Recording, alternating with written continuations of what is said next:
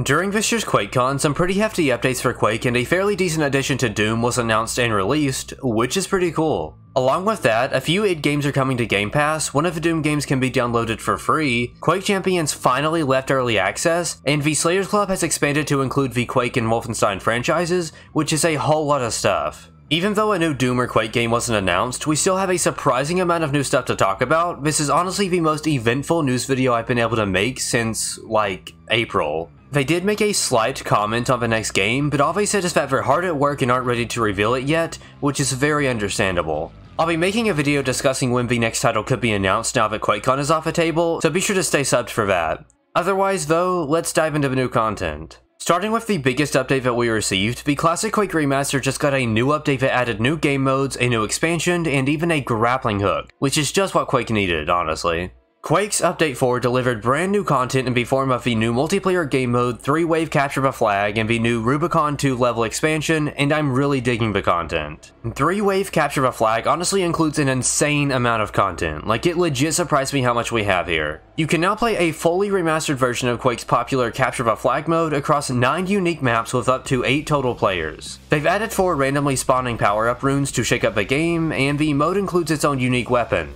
the grappling hook. This thing is kind of like Doom Eternal's meat hook, only, well, it's almost better. You can aim this thing at most surfaces to quickly pull yourself inwards, or you can grapple onto other players to do consistent damage. You can also swap two different weapons while the hook is attached, although you can't really move while doing so. Players can use this new weapon for some pretty advanced movement tactics, but I'm not nearly skilled enough to show those off. On the single player side of things, Rubicon 2 is a new add-on that introduces three large maps with new enemies, hazards, sounds, and a lot more. I haven't been able to play a whole lot of it, but it seems pretty fun so far, and I would definitely recommend you checking it out. Moving on from Quake, Classic Doom and Doom 2 just got a new add-on in the form of Revolution.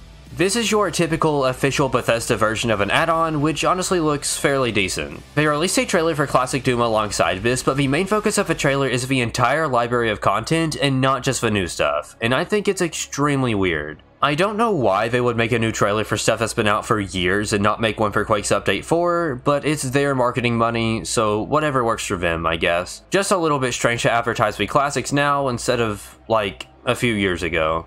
Continuing the theme of classic titles, Classic Wolfenstein was just added to PC Game Pass alongside Return to Castle Wolfenstein, Quake 4, Quake Champions, and two other Bethesda titles. It's also worth mentioning that Heretic and Hexen have been added to the Microsoft Store. I know some of my audience is really into those. Doom 64 is now free for a limited time on the Epic Game Store, by the way, so if you don't have 64 and you want to try it out, then now's your chance. As a final addition to today's news video, I want to bring up that Quake Champions silently released as a full game. I genuinely have, like, no idea what this means, but it's odd that they never announced this, at least as far as I'm aware. The game is no longer listed as early access on Steam, and the banners are changed, so this could signify more future updates, which we can only hope includes a console port. Aside from ensuring that more content is coming, I don't really think that this changes much, it's just kind of an interesting thing to note.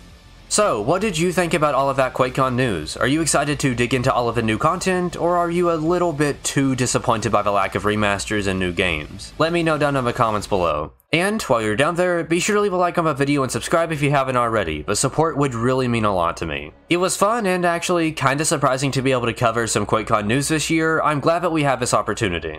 Compared to what we normally get on any other average day, I would honestly kinda consider this to be some pretty massive new Doom and Quake news. There's always more Doom and Quake stuff to talk about though, so uh, stay tuned for all of that. Thank you all for watching today's video, I really hope you enjoyed the content.